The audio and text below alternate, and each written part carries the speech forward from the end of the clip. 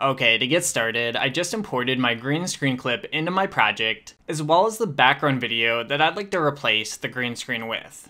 Let's begin by dragging the background video clip onto the first video track on the timeline.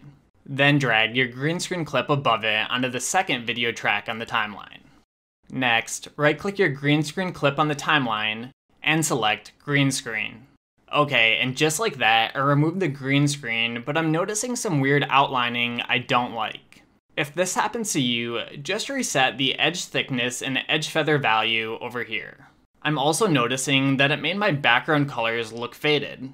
This can be fixed by increasing the offset, which will bring my blacks out more.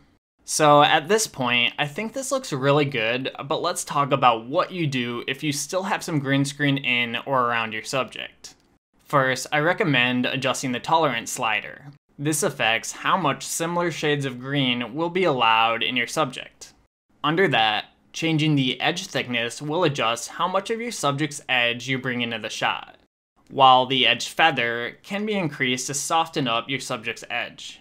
One last thing I quickly want to touch on is what to do if your video looks fine while paused, but low quality while playing its preview back. Mine looks okay, but if this happens to you, it's just the preview not displaying properly. If you were to export it, the final video would look fine. One way you can make your video look better in the preview is by using this render preview button. This way you can get a result similar to your final video. Alright, and that's all from me, so thanks for watching and see you next time.